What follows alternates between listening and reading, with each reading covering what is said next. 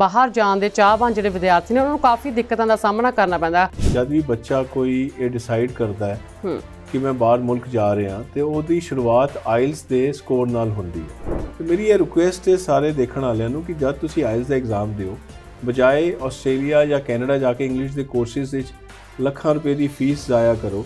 ਇੱਥੇ ਹੀ 2 ਮਹੀਨੇ 4 ਮਹੀਨੇ ਸੀਰੀਅਸਲੀ ਮਿਹਨਤ ਕਰਕੇ 6 ਬੈਂਡ ਈਚ ਲਿਆਉਣ ਦੀ ਕੋਸ਼ਿਸ਼ ਕਰੋ ਤਾਂ ਕਿ ਤੁਹਾਨੂੰ government colleges TAFE colleges Australia ਦੇ ਵਧੀਆ ਕਾਲਜਸ ਕੈਨੇਡਾ ਦੇ ਵਧੀਆ ਕਾਲਜਸ ਯੂਨੀਵਰਸਿਟੀ ਦੀ ਐਡਮਿਸ਼ਨ ਮਿਲੇ।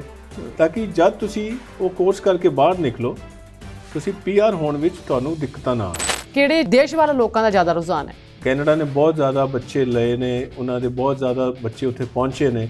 ਇਵਨ ਕੋਵਿਡ ਦੇ ਦੌਰਾਨ ਵੀ ਅਗਰ ਧਿਆਨ ਨਾਲ ਦੇਖਿਆ ਜਾਏ ਤੇ ਉਹਨਾਂ ਨੇ ਬੱਚਿਆਂ ਨੂੰ ਕਾਫੀ ਆਣ ਦਿੱਤਾ। ਜਿਹੜੀ ਅਨਾਉਂਸਮੈਂਟ ਕਰਦੇ ਨੇ ਜਿਹੜੀ ਕੰਟਰੀ ਕਦੀ ਵੀ ਕੋਈ ਵੀ ਵੀਜ਼ਾ ਫੀ ਵੇਵਰ ਨਹੀਂ ਦਿੰਦੀ ਸੀ ਅੱਜ ਪੂਰਾ ਵੀਜ਼ਾ ਫੀ ਵੇਵਰ ਦੇ ਰਹੀ ਹੈ। ਜੀ। ਇਸ ਤੋਂ ਇਹ ਪਤਾ ਚੱਲਦਾ ਹੈ ਕਿ ਆਸਟ੍ਰੇਲੀਆ ਆਉਣ ਵਾਲੇ ਟਾਈਮ ਦੇ ਅੰਦਰ ਇੱਕ ਬਹੁਤ ਹੌਟ ਡੈਸਟੀਨੇਸ਼ਨ ਹੈ। ਆਸਟ੍ਰੇਲੀਆ ਨੂੰ ਬਹੁਤ ਜ਼ਿਆਦਾ ਜ਼ਰੂਰਤ ਹੈ ਆਈਟੀ ਪ੍ਰੋਫੈਸ਼ਨਲਸ ਦੀ ਜੀ। ਕਾਰਪੈਂਟਰਸ ਦੀ ਕੁਕਸ ਦੀ ਸ਼ੈਫਸ ਦੀ ਬੇਕਰਸ ਦੀ ਪਲੰਬਰਸ ਦੀ ਮਿਕਸ ਕ੍ਰੌਪ ਫਾਰਮਰਸ ਦੀ ਆਟੋਮੋਟਿਵ ਮਕੈਨਿਕਸ ਦੀ ਡੀਜ਼ਲ ਮਕੈਨਿਕ ਦੀ ਜੀਸੀਬੀ ਆਪਰੇਟਰਸ ਦੀ ਨਰਸਿਸ ਦੀ ਮੈਡੀਕਲ ਸੋਨੋਗ੍ਰਾਫਰਸ ਦੀ accountants the.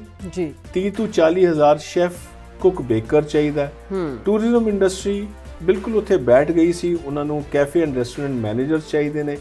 Hotel and accommodation managers ਚਾਹੀਦੇ ਨੇ। ਤੁਸੀਂ ਇਸ ਗੱਲ ਤੋਂ ਅੰਦਾਜ਼ਾ ਲਗਾ ਲਓ ਕਿ ਅੱਜ ਆਸਟ੍ਰੇਲੀਆ ਦੇ ਅੰਦਰ 15 ਡਾਲਰ ਜਿਹੜਾ ਇੱਕ ਕੁਕ ਜਾਂ ਸ਼ੈਫ ਲੈਂਦਾ ਸੀ ਐਜ਼ ਅ ਟ੍ਰੇਨੀ ਉਹ 35 ਡਾਲਰ ਤੇ ਵੀ ਅਵੇਲੇਬਲ ਨਹੀਂ ਹੈ। ਇੰਨੀ ਜ਼ਿਆਦਾ ਸਕੇਅਰਸਿਟੀ ਹੈ ਸਕਿਲਡ ਵਰਕਰਸ ਦੀ। ਪੀਆਰ ਨੂੰ ਲੈਣ ਵਾਸਤੇ ਕਾਫੀ ਮੁਸ਼ਕਲਾਂ ਦਾ ਸਾਹਮਣਾ ਕਰਨਾ ਪੈ ਰਿਹਾ। ਆਖਰ ਕਿਸ ਤਰੀਕੇ ਨਾਲ ਪੀਆਰ ਹਾਸਲ ਹੋ ਸਕਦੀ ਹੈ? ਸਿਰਫ ਇਹ ਨਾ ਸੋਚੋ ਕਿ ਬਸ ਮੇਰਾ ਵੀਜ਼ਾ ਲੱਗ ਜਾਏ ਮੈਂ ਕਿਸੇ ਤਰ੍ਹਾਂ ਆਸਟ੍ਰੇਲੀਆ ਪਹੁੰਚ ਜਾਵਾਂ ਬਸ ਮੈਨੂੰ ਟਪਾ ਦਿਓ। ਇਹ ਜਿਹੜੀ ਟਪਾਉਣ ਵਾਲੀ ਮੈਂਟੈਲਿਟੀ ਹੈ ਇਹ ਸਾਡੇ ਬੱਚਿਆਂ ਦਾ ਭਵਿੱਖ ਖਰਾਬ ਕਰਦੀ ਹੈ।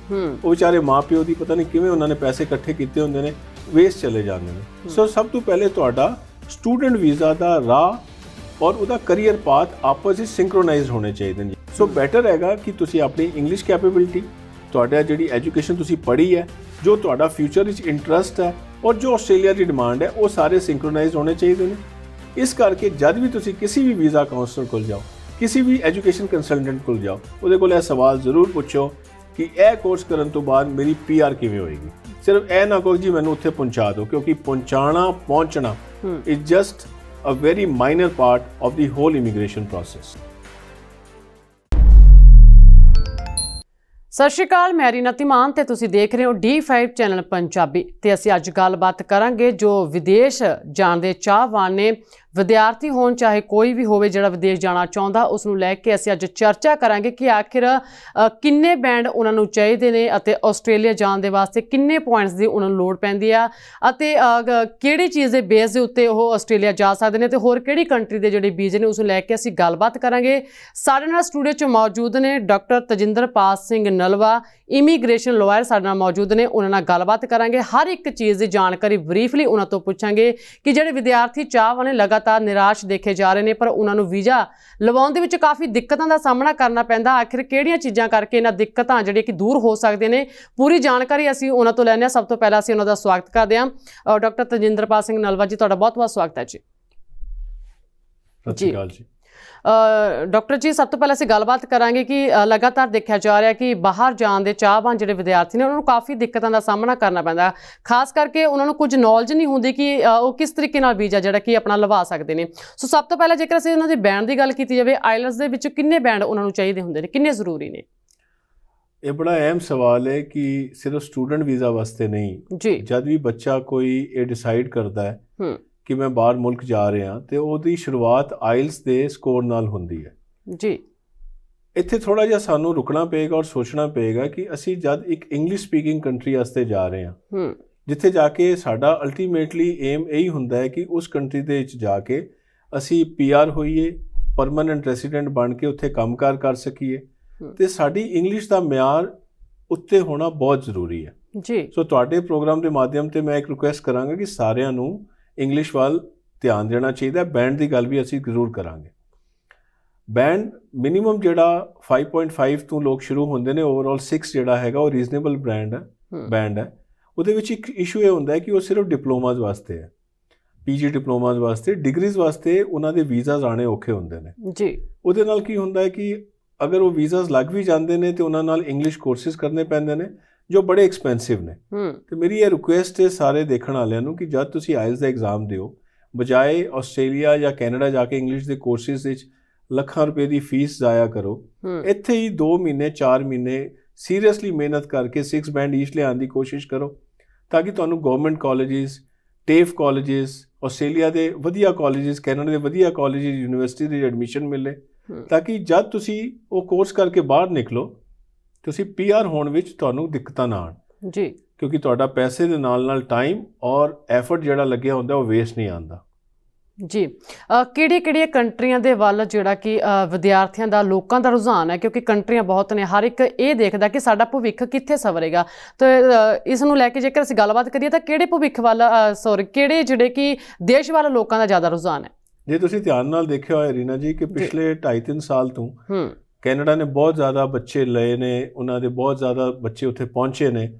ਇਵਨ ਕੋਵਿਡ ਦੇ ਦੌਰਾਨ ਵੀ ਅਗਰ ਧਿਆਨ ਨਾਲ ਦੇਖਿਆ ਜਾਏ ਤੇ ਉਹਨਾਂ ਨੇ ਬੱਚਿਆਂ ਨੂੰ ਕਾਫੀ ਆਣ ਦਿੱਤਾ।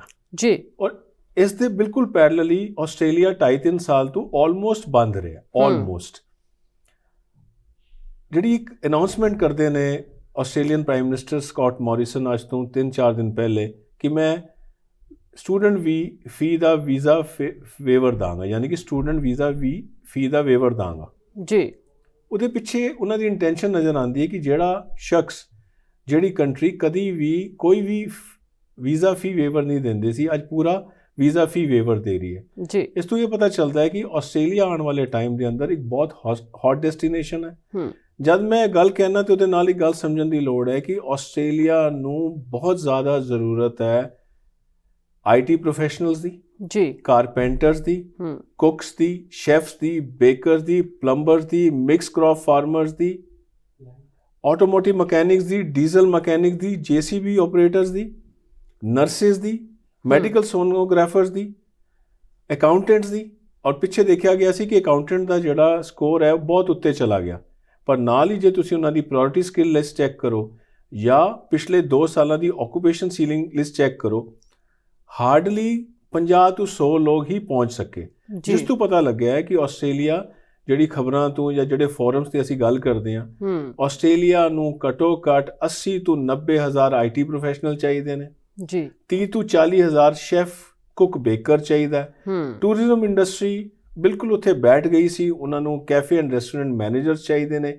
ਹੋਟਲ ਐਂਡ ਅਕੋਮੋਡੇਸ਼ਨ ਮੈਨੇਜਰਸ ਚਾਹੀਦੇ ਨੇ। ਤੁਸੀਂ ਇਸ ਗੱਲ ਤੋਂ ਅੰਦਾਜ਼ਾ ਲਗਾ ਲਓ ਕਿ ਅੱਜ ਆਸਟ੍ਰੇਲੀਆ ਦੇ ਅੰਦਰ 15 ਡਾਲਰ ਜਿਹੜਾ ਇੱਕ ਕੁੱਕ ਜਾਂ ਸ਼ੈਫ ਲੈਂਦਾ ਸੀ ਐਜ਼ ਅ ਟ੍ਰੇਨੀ ਉਹ 35 ਡਾਲਰ ਤੇ ਵੀ ਅਵੇਲੇਬਲ ਨਹੀਂ ਹੈ।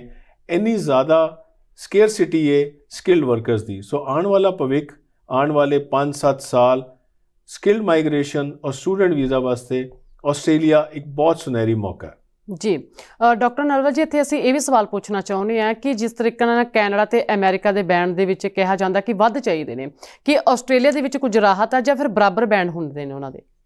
ਜਿਸ ਤਰ੍ਹਾਂ ਸਾਡੀ ਗੱਲ ਦੀ ਸ਼ੁਰੂਆਤ ਹੋਈ ਕਿ minimum 5.5 band in each module ਤੇ ਚਾਹੀਦਾ ਹੀ ਹੈ। ਜੀ। ਉਹਦਾ ਰੀਜ਼ਨ ਹੈਗਾ ਕਿ ਜਦ ਇਹ ਮੋਡਿਊਲ ਹੁੰਦਾ ਹੈ ਤੇ ਤੁਹਾਨੂੰ ਫਟਾਫਟ ਐਡਮਿਸ਼ਨ ਮਿਲਣਾ ਇੱਕ ਕ੍ਰਾਈਟੇਰੀਆ ਹੂੰ ਬਟ ਵੀਜ਼ਾ ਮਿਲਣਾ ਉਸ ਤੋਂ ਵੀ ਇੰਪੋਰਟੈਂਟ ਹੈ। ਜੀ। ਔਰ ਜਦ ਤੁਹਾਡੇ ਬੈਂਡਸ ਠੀਕ ਹੁੰਦੇ ਨੇ ਤੁਹਾਡੀ ਐਸਓਪੀ ਠੀਕ ਹੁੰਦੀ ਹੈ ਤੁਹਾਡੀ ਪੂਰੀ ਸਟੇਟਮੈਂਟ ਆਫ ਪਰਪਸ ਰੈਗੂਲੇਟਡ ਹੁੰਦੀ ਹੈ ਤੁਹਾਡੀ intention to do a course ਵਿੱਚ ਐਸਾ ਕੋਈ ਕਾਰਨ ਨਹੀਂ ਹੈ ਕਿ ਤੁਹਾਡਾ ਵੀਜ਼ਾ ਰਿਜੈਕਟ ਹੋਏ। ਜੀ। ਤੇ ਵੀਜ਼ੇ ਕਿੰਨੇ ਤਰ੍ਹਾਂ ਦੇ ਹੁੰਦੇ ਨੇ? ਕਿ ਤੇ ਇਹਨਾਂ ਵੀਜ਼ਿਆਂ ਦੇ ਵਿੱਚੋਂ ਸਭ ਤੋਂ ਫਾਇਦੇਮੰਦ ਵੀਜ਼ਾ ਕਿਹੜਾ? ਕਿਉਂਕਿ ਦੇਖਿਆ ਜਾ ਰਿਹਾ ਕਿ ਵੱਖ-ਵੱਖ ਵੀਜ਼ੇ ਹੁੰਦੇ ਨੇ। ਪਰ ਜਿਨ੍ਹਾਂ ਦੇ ਵਿੱਚ ਇਹਨਾਂ ਲੋਕਾਂ ਨੂੰ ਇਹਨਾਂ ਵਿਦਿਆਰਥੀਆਂ ਨੂੰ ਫਾਇਦਾ ਹੋਣ ਵਾਲਾ ਉਹ ਕਿਹੜਾ ਵੀਜ਼ਾ ਮੰਨਿਆ ਜਾਂਦਾ ਹੈ? ਸਾਰੇ ਸਟੂਡੈਂਟ ਵੀਜ਼ਾ ਇੱਕੋ ਵੀਜ਼ਾ 'ਚ ਕਵਰ ਹੁੰਦੇ ਨੇ ਜਿਹਦਾ ਨਾਮ ਹੈ ਸਬ ਕਲਾਸ 500 ਜੀ। ਇਹ ਸਬ ਕਲਾਸ 500 ਜਿਹੜਾ ਵੀਜ਼ਾ ਹੈਗਾ ਇਹ ਤੁਹਾਨੂੰ ਅਲਾਉ ਕਰਦਾ। ਹੈ ਸਟੂਡੈਂਟ ਵੀਜ਼ਾ ਆਸਟ੍ਰੇਲੀਆ ਜਾ ਕੇ ਪੜਨ ਦਾ। ਜੀ। ਜਦ ਤੁਸੀਂ ਪੜ ਲੈਂਦੇ ਹੋ right from associate diploma to master degree ਔਰ ਟੂ ਇਵਨ ਡੀ। ਉਹ ਸਾਰੇ ਹੀ ਸਬ ਕਲਾਸ 500 ਦੇ ਅੰਦਰ ਆਉਂਦੇ ਨੇ। ਜੀ। ਇਸ ਤੋਂ ਬਾਅਦ ਜਿਹੜਾ ਦੂਜਾ ਸਿਸਟਮ ਸ਼ੁਰੂ ਹੁੰਦਾ ਹੈ ਉਹ ਹੁੰਦਾ ਹੈ ਇਮੀਗ੍ਰੇਸ਼ਨ ਦਾ ਜਿਹਨੂੰ ਆਪਾਂ ਸਬ ਕਲਾਸ 189 ਕਹਿੰਦੇ ਆ permanent immigration to. Australia Australia wide 190 ਕਹਿੰਦੇ ਆ ਸਟੇਟ ਨੋਮੀਨੇਸ਼ਨ ਪ੍ਰੋਗਰਾਮ ਜਿਹੜਾ ਕਿ ਕੈਨੇਡਾ ਦਾ ਪੀਐਨਪੀ ਦੇ ਪੈਰਲਲ ਪ੍ਰੋਗਰਾਮ ਹੈ। ਫਿਰ 491 ਹੈ ਜਿਹੜਾ ਰੀਜਨਲ ਹੈ। ਇਸ ਤਰ੍ਹਾਂ ਦੇ ਵੱਖ-ਵੱਖ ਵੀਜ਼ਾ ਨੇ EMPLOYER nomination subclass 186 visa ਹੈਗਾ। ਜਿੱਥੇ ਉੱਥੇ ਦਾ EMPLOYER ਤੁਹਾਨੂੰ ਨੋਮੀਨੇਟ ਕਰਦਾ ਹੈ ਔਰ ਉਹਦੀ ਨੋਮੀਨੇਸ਼ਨ ਦੀ ਵਜ੍ਹਾ ਨਾਲ ਤੁਹਾਡੀ ਇਮੀਗ੍ਰੇਸ਼ਨ ਫਾਸਟ ਹੁੰਦੀ ਹੈ। ਇਹਨਾਂ ਸਾਰੇ ਵੀਜ਼ਾਸ ਤੋਂ ਇਲਾਵਾ ਵੀ ਉਥੇ short term skill worker visas ਹੈਗੇ ਨੇ 482 ਦੇ ਅੰਦਰ। ਜੀ। ਤੁਸੀਂ ਉੱਥੇ ਪੜ੍ਹ ਲੈਂਦੇ ਹੋ ਪੜ੍ਹਨ ਤੋਂ ਬਾਅਦ ਤੁਹਾਡਾ ਪੋਸਟ ਸਟੱਡੀ ਵਰਕ ਪਰਮਿਟ ਹੈ ਸਬ ਕਲਾਸ 485 ਸੋ ਕਈ ਰਸਤੇ ਖੁੱਲਦੇ ਨੇ ਬਟ ਇੰਡੀਆ ਤੋਂ ਜਾਂ ਆਊਟਸਾਈਡ ਆਸਟ੍ਰੇਲੀਆ ਤੋਂ ਆਸਟ੍ਰੇਲੀਆ ਆਉਣ ਵਾਸਤੇ ਜਿਹੜਾ ਵੀਜ਼ਾ ਸਟੂਡੈਂਟ ਵੀਜ਼ਾ ਹੈ ਉਸ ਵੀਜ਼ਾ ਦਾ ਨਾਮ ਹੈ ਸਬ ਕਲਾਸ 500 ਜੀ ਪੀਆਰ ਲੈਣ ਵਾਸਤੇ ਕੀ ਕੁਝ ਕਰਨਾ ਪੈਂਦਾ ਹੈ? ਕਿਉਂਕਿ ਪੀਆਰ ਦੀ ਦੌੜ ਲਗਾਤਾਰ ਵਧਦੀ ਜਾ ਰਹੀ ਹੈ। ਕਿ ਪੀਆਰ ਨੂੰ ਲੈਣ ਵਾਸਤੇ ਕਾਫੀ ਮੁਸ਼ਕਲਾਂ ਦਾ ਸਾਹਮਣਾ ਕਰਨਾ ਪੈ ਰਿਹਾ। ਆਖਰ ਕਿਸ ਤਰੀਕੇ ਨਾਲ ਪੀਆਰ ਹਾਸਲ ਹੋ ਸਕਦੀ ਹੈ? ਪਹਿਲਾ ਸਟੈਪ ਜਿਵੇਂ ਅਸੀਂ ਸ਼ੁਰੂਆਤ ਕੀਤੀ ਸੀ ਗੱਲਬਾਤ ਦੀ ਪਹਿਲਾ ਸਟੈਪ ਹੈ ਕਿ ਤੁਸੀਂ ਰਾਈਟ ਕੋਰਸ ਚੁਣੋ। ਸਿਰਫ ਇਹ ਨਾ ਸੋਚੋ ਕਿ ਬਸ ਮੇਰਾ ਵੀਜ਼ਾ ਲੱਗ ਜਾਏ ਮੈਂ ਕਿਸੇ ਤਰ੍ਹਾਂ ਆਸਟ੍ਰੇਲੀਆ ਪਹੁੰਚ ਜਾਵਾਂ ਬਸ ਮੈਨੂੰ ਟਪਾ ਦਿਓ। ਇਹ ਜਿਹੜੀ ਟਪਾਉਣ ਵਾਲੀ ਮੈਂਟੈਲਿਟੀ ਹੈ ਇਹ ਸਾਡੇ ਬੱਚਿਆਂ ਦਾ ਭਵਿੱਖ ਖਰਾਬ ਕਰਦੀ ਹੈ। ਉਹ ਵਿਚਾਰੇ ਮਾਪਿਓ ਦੀ ਪਤਾ ਨਹੀਂ ਕਿਵੇਂ ਉਹਨਾਂ ਨੇ ਪੈਸੇ ਇਕੱਠੇ ਕੀਤੇ ਹੁੰਦੇ ਨੇ ਵੇਸਟ ਚਲੇ ਜਾਂਦੇ ਨੇ। ਸੋ ਸਭ ਤੋਂ ਪਹਿਲੇ ਤੁਹਾਡਾ ਸਟੂਡੈਂਟ ਵੀਜ਼ਾ ਦਾ ਰਾਹ ਔਰ ਉਹਦਾ ਕੈਰੀਅਰ ਪਾਥ ਆਪਸ ਵਿੱਚ ਸਿੰਕਰੋਨਾਈਜ਼ ਹੋਣੇ ਚਾਹੀਦੇ ਨੇ। ਯਾਨੀ। ਕਿ ਜਿਹੜਾ ਤੁਸੀਂ ਪੜ੍ਹਨਾ ਚਾਹ ਰਹੇ ਹੋ ਉਹਦੀ ਡਿਮਾਂਡ ਕਿਆ ਉੱਥੇ ਹੈ? ਔਰ ਤੁਹਾਨੂੰ ਆਪਣੇ ਬਾਰੇ ਸਭ ਨੂੰ ਪਤਾ ਹੁੰਦਾ ਹੈ ਕਿ ਮੈਂ ਇੰਗਲਿਸ਼ ਵਿੱਚ ਕਿੰਨਾ ਸਕੋਰ ਕਰ ਸਕਾਂਗਾ। ਫੋਰ ਐਗਜ਼ਾਮਪਲ ਤੁਸੀਂ ਕੋਰਸ ਤੇ ਲੈ ਲਿਆ ਅਕਾਊਂਟਿੰਗ ਦਾ। ਹੂੰ। ਔਰ ਤੁਹਾਨੂੰ ਉੱਥੇ ਅਗਰ ਇਮੀਗ੍ਰੇਸ਼ਨ ਚਾਹੀਦੀ ਹੈ ਤੇ ਘੱਟੋ ਘੱਟ 7 ਬੈਂਡ ਈਚ ਚਾਹੀਦਾ ਉਹ ਤੁਹਾਡਾ ਆਇਆ ਨਹੀਂ। ਫਿਰ ਤੁਹਾਡੀ ਸਾਰੀ ਪੜ੍ਹਾਈ ਵੇਸਟ ਚਲੇਗੀ ਔਰ ਤੁਹਾਨੂੰ ਇਮੀਗ੍ਰੇਸ਼ਨ ਨਹੀਂ ਮਿਲੀ ਸੋ। ਬੈਟਰ ਹੈਗਾ ਕਿ ਤੁਸੀਂ ਆਪਣੀ ਇੰਗਲਿਸ਼ ਕੈਪੇਬਿਲਿਟੀ ਤੁਹਾਡਾ ਜਿਹੜੀ ਐਜੂਕੇਸ਼ਨ ਤੁਸੀਂ ਪੜ੍ਹੀ ਹੈ ਜੋ ਤੁਹਾਡਾ ਫਿਊਚਰ ਵਿੱਚ ਇੰਟਰਸਟ ਹੈ ਔਰ ਜੋ ਆਸਟ੍ਰੇਲੀਆ ਦੀ ਡਿਮਾਂਡ ਹੈ ਉਹ ਸਾਰੇ ਸਿੰਕਰੋਨਾਈਜ਼ ਹੋਣੇ ਚਾਹੀਦੇ ਨੇ। ਇਸ ਕਰਕੇ ਜਦ ਵੀ ਤੁਸੀਂ ਕਿਸੇ ਵੀ ਵੀਜ਼ਾ ਕਾਉਂਸਲਰ ਕੋਲ ਜਾਓ ਕਿਸੇ ਵੀ ਐਜੂਕੇਸ਼ਨ ਕੰਸਲਟੈਂਟ ਕੋਲ ਜਾਓ ਉਹਦੇ ਕੋਲ ਇਹ ਸਵਾਲ ਜ਼ਰੂਰ ਪੁੱਛੋ ਕਿ ਇਹ ਕੋਰਸ ਕਰਨ ਤੋਂ ਬਾਅਦ ਮੇਰੀ ਪੀਆਰ ਕਿਵੇਂ ਹੋਏਗੀ। ਸਿਰਫ ਇਹ ਨਾ ਕਹੋ ਜੀ ਮੈਨੂੰ ਉੱਥੇ ਪਹੁੰਚਾ ਦਿਓ ਕਿਉਂਕਿ ਪਹੁੰਚਾਣਾ ਪਹੁੰਚਣਾ is just a very minor part of the whole immigration process ਜੀ ਡਾਕਟਰ ਨਲਵਾ ਜੀ ਸਵਾਲ ਇਹ ਵੀ ਪੁੱਛਣਾ ਚਾਹੁੰਦੇ ਆ ਕਿ ਕਿ ਜਿਹੜੇ ਨੌਜਵਾਨ ਨੇ ਉਹ ਕਾਫੀ ਕਨਫਿਊਜ਼ ਨੇ ਉਹਨੂੰ ਖੁਦ ਨਹੀਂ ਸਮਝ ਲੱਗ ਰਿਹਾ ਕਿ ਉਹ ਕਿੰਨਾ ਕੋਲ ਜਾਣ ਜਿਹੜਾ ਕਿ ਉਹਨੂੰ ਸਹੀ ਰਾਹ ਤੇ ਪਾਇਆ ਜਾਵੇ। ਲਗਾਤਾਰ ਉਹ ਜਾਂਦੇ ਨੇ ਆਪਣੀ ਫਾਈਲ ਲਗਵਾਉਣ ਦੇ ਵਾਸਤੇ ਪਰ ਉਹਨਾਂ ਨੂੰ ਇੱਕ ਸਹੀ ਜਿਹੜਾ ਰਾਹ ਨਹੀਂ ਮਿਲ ਰਿਹਾ ਉਹ ਕਨਫਿਊਜ਼ ਹੋ ਜਾਂਦੇ ਨੇ ਤੇ ਕਈ ਵਾਰ ਉਹ ਕੁਝ ਅਜਿਹੇ ਲੋਕਾਂ ਦੇ ਧੱਕੇ ਚੜ ਜਾਂਦੇ ਨੇ ਜਿਸ ਤੋਂ ਬਾਅਦ ਉਹਨਾਂ ਨੂੰ ਪਛਤਾਉਣਾ ਪੈਂਦਾ। ਆਸਟ੍ਰੇਲੀਅਨ ਮਾਈਗ੍ਰੇਸ਼ਨ ਅਥਾਰਟੀ ਦਾ ਇੱਕ ਡਿਪਾਰਟਮੈਂਟ ਹੈ ਜਿਹਨੂੰ ਅਸੀਂ office of migration agent regulatory authority ਕਹਿੰਦੇ ਜੀ। ਓਮਾਰਾ ਦੇ ਏਜੰਟ ਜਿਵੇਂ ਮੈਂ ਵੀ ਇੱਕ ਏਜੰਟ ਹੈਗਾ। ਸੋ ਇਹ ਜਿਹੜੇ ਏਜੰਟਸ ਔਰ ਇਮੀਗ੍ਰੇਸ਼ਨ ਲਾਇਰਸ ਹੈਗੇ ਨੇ ਇਹਨਾਂ ਦਾ ਕੰਮ ਹੈਗਾ ਇਹ ਰੈਗੂਲੇਟ ਕੀਤੇ ਜਾਂਦੇ ਨੇ ਆਸਟ੍ਰੇਲੀਅਨ ਗਵਰਨਮੈਂਟ ਤੇ ਔਰ ਇਹਨਾਂ ਤੇ ਨਿਗਾਹ ਰੱਖੀ ਜਾਂਦੀ ਹੈ। ਜੀ। ਇਹਨਾਂ ਕੋਲ ਜਾਓ ਇਹਨਾਂ ਕੋਲ ਆਪਣੀ ਜਿਹੜਾ ਪੂਰਾ ਕੈਰੀਅਰ ਪਾਥ ਬਣਾਓ ਸਮਝੋ ਮੈਂ ਇਹ ਕੋਰਸ ਕਿਉਂ ਕਰ ਰਿਹਾ? ਇਹ ਕੋਰਸ ਕਰਨ ਤੋਂ ਬਾਅਦ ਮੈਂ ਕਿਸ ਤਰ੍ਹਾਂ ਮੈਨੂੰ ਪੀਆਰ ਮਿਲੇਗੀ? ਮੇਰਾ ਜਿਹੜੀ ਇਹ ਵਾਲੀ ਪੜ੍ਹਾਈ ਹੈ ਇਹਦਾ ਕੋਈ ਕ੍ਰੈਡਿਟ ਟ੍ਰਾਂਸਫਰ ਹੋਏਗਾ? ਕਿਆ ਮੈਂ ਰੀਜਨਲ ਕਾਲਜ ਵਿੱਚ ਪੜਾਂਗਾ ਤੇ ਮੇਰੀ ਪੀਆਰ ਫਾਸਟ ਹੋਏਗੀ? ਜਾਂ ਇਸ ਇਲਾਕੇ ਦੇ ਅੰਦਰ ਮੈਨੂੰ ਜੌਬ ਓਪਰਚ्युनिटीज ਮੇਰੀ ਕੈਟਾਗਰੀ 'ਚ ਹੈਨ ਕਿ ਨਹੀਂ? ਸੇ ਫੋਰ ਐਗਜ਼ਾਮਪਲ ਤੁਸੀਂ ਚਲੇ ਜਾਂਦੇ ਹੋ ਠੰਡੀ ਜਗ੍ਹਾ ਟੈਸਮਾਨੀਆ ਉੱਥੇ 에ਅਰ ਕੰਡੀਸ਼ਨਿੰਗ ਦਾ ਕੋਰਸ ਕਰਦੇ ਹੋ। ਤੁਹਾਨੂੰ ਕਦੀ ਵੀ ਜੌਬ ਨਹੀਂ ਮਿਲੇਗਾ। ਜਿੱਥੇ ਗਰਮੀ ਨਹੀਂ ਉੱਥੇ ਏਸੀ ਦਾ ਕੰਮ ਕੀ ਹੈ? ਇਸ ਤਰ੍ਹਾਂ ਹੀ ਤੁਸੀਂ ਨਾਨ ਐਗਰੀਕਲਚਰ ਲੈਂਡ ਵਿੱਚ ਅਗਰ ਮਿਕਸ ਕ੍ਰੌਪ ਫਾਰਮਿੰਗ ਦਾ ਕੋਰਸ ਕਰਦੇ ਹੋ ਹਾਰਟੀਕਲਚਰ ਦਾ ਕੋਰਸ ਕਰਦੇ ਹੋ ਡਿਪਲੋਮਾ ਇਨ ਲੈਂਡਸਕੇਪ ਆਰਕੀਟੈਕਟ ਕਰਦੇ ਹੋ ਔਰ ਐਸੀ ਜਗ੍ਹਾ ਚਲੇ ਜਾਂਦੇ ਹੋ ਜਿੱਥੇ ਬੈਰਨ ਲੈਂਡ ਹੈ। ਉੱਥੇ ਕਦੀ ਵੀ ਤੁਹਾਨੂੰ ਪੀਆਰ ਨਹੀਂ ਮਿਲ ਸਕਦੀ। ਸੋ ਇਹ ਪੂਰਾ ਸਿਸਟਮ ਸਮਝੋ ਮੇਰੀ ਰਿਕੁਐਸਟ ਹੈ ਆਪਣੇ ਪੈਸੇ ਬਿਲਕੁਲ ਖਰਾਬ ਨਾ ਕਰੋ। ਸਿਰਫ ਸਟੂਡੈਂਟ ਵੀਜ਼ਾ ਵਾਸਤੇ ਨਾ ਸੋਚੋ। Student visa making a career pathway ਤਾਂ ਕਿ ਤੁਸੀਂ ਉੱਥੇ ਪੱਕੇ ਹੋ ਸਕੋ। ਔਰ ਪੱਕੇ ਤੋਂ ਇਲਾਵਾ ਤੁਹਾਡੇ ਕੋਲ ਰੋਜ਼ਗਾਰ ਤੁਹਾਡੇ ਮਤਲਬ ਦਾ ਹੋਵੇ ਰਿਸਪੈਕਟੇਬਲ ਹੋਵੇ ਔਰ ਤੁਸੀਂ ਆਪਣੀ ਫੈਮਿਲੀ ਦਾ ਟੇਕ ਕੇਅਰ ਕਰ ਸਕੋ। ਜੀ ਡਾਕਟਰ ਤਜਿੰਦਰਪਾਲ ਨਲਵਾ ਜੀ ਤੁਹਾਡਾ ਬਹੁਤ-ਬਹੁਤ ਧੰਨਵਾਦ। ਤੁਸੀਂ ਬਹੁਤ ਭਰਪੂਰ ਜਾਣਕਾਰੀ ਜਿਹੜੀ ਕਿ ਨੌਜਵਾਨ ਪੀੜ੍ਹੀ ਨੂੰ ਦਿੱਤੀ ਹੈ। ਥੈਂਕ ਯੂ ਜੀ। ਜੀ। ਇਹ ਸਨ ਡਾਕਟਰ ਤਜਿੰਦਰਪਾਲ ਸਿੰਘ ਨਲਵਾ ਜਿਨ੍ਹਾਂ ਨੇ ਕਿ ਭਰਪੂਰ ਜਾਣਕਾਰੀ ਦੱਸੀ ਦਿੱਤੀ ਹੈ ਕਿ ਜਿਹੜੇ ਲੋਕ ਨੌਜਵਾਨ ਬਾਹਰ ਜਾਣਾ ਚਾਹੁੰਦੇ ਨੇ ਪਰ ਉਹਨਾਂ ਨੂੰ ਰਾਹ ਨਹੀਂ ਪਤਾ ਲੱਗਦਾ ਕਿ ਆਖਰ ਉਹ ਕਿਸ ਤਰੀਕੇ ਦੇ ਨਾਲ ਜਿਹੜਾ ਕਿ ਉਹ ਬਾਹਰ ਜਾਣ। ਪਰ ਅੱਜ ਜਿਹੜੀ ਕਿ ਤੁਹਾਨੂੰ ਪੂਰੀ ਜਾਣਕਾਰੀ ਅ, ਡਾਕਟਰ ਨਲਵਾ ਜੀ ਦੇ ਵੱਲੋਂ ਦਿੱਤੀ ਗਈ ਹੈ ਜਿਸ ਤਰੀਕੇ ਨਾਲ ਉਹਨਾਂ ਨੇ ਤੁਹਾਨੂੰ ਜਾਣਕਾਰੀ ਦਿੱਤੀ ਹੈ ਉਸ ਚੀਜ਼ ਨੂੰ ਸਮਝੋ ਅਤੇ ਉਸ ਤੋਂ ਬਾਅਦ ਹੀ ਤੁਸੀਂ ਬਾਹਰ ਜਾਣ ਲਈ ਆਪਣੇ ਵੀਜ਼ੇ ਜਿਹੜੇ ਕਿ ਅਪਲਾਈ ਕਰੋ। ਸੋ ਅੱਜ ਦੇ ਪ੍ਰੋਗਰਾਮ ਦੇ ਵਿੱਚ ਇੰਨਾ ਹੀ। ਮੈਨੂੰ ਦੇ ਇਜਾਜ਼ਤ। ਸਤਿ ਸ਼੍ਰੀ ਅਕਾਲ। ਚੈਨਲ ਪੰਜਾਬੀ। ਹੁਣੇ ਸਬਸਕ੍ਰਾਈਬ ਕਰੋ ਬੈਲ ਆਈਕਨ ਤੇ ਕਲਿੱਕ ਕਰੋ। ਕੀ ਹੁੰਦੀ ਹੈ ਜਮਾਬੰਦੀ? ਕਿਵੇਂ ਬਣਦੀ ਹੈ ਵਸੀਅਤ? ਜ਼ਮੀਨ ਜਾਇਦਾਦ ਦੇ ਹਰ ਮਸਲੇ ਤੇ ਕਰਾਂਗੇ ਚਰਚਾ। ਦੇਖਣਾ ਨਾ ਭੁੱਲਣਾ ਸਾਡਾ ਖਾਸ ਪ੍ਰੋਗਰਾਮ naibtehsildar.com ਕਾਨੂੰਨ ਜਾਇਦਾਦ ਦਾ।